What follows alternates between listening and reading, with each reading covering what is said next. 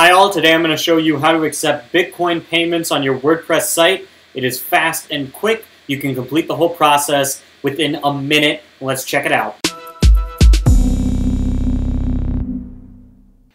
So I'm over here on the dashboard of my WordPress site, and in order to do this, I'm going to head over to plugins and uh, add a new plugin. I'm going to look for Blockonomics, and I'm going to choose this uh, Blockonomics plugin, install now, and then hit activate. Now when I go to the checkout screen, so I've got the checkout right here, I've got Bitcoin selected, I can pay with Bitcoin.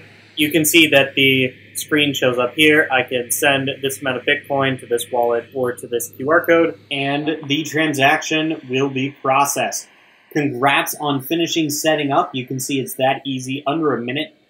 The next thing is after a few payments, uh, you will see this balance start showing up with people paying in Bitcoin. Uh, after a few payments, you can set up the direct to wallet, which is the next step. You can see that in the video linked below or at the end of this. Thanks for watching and good luck getting paid in Bitcoin.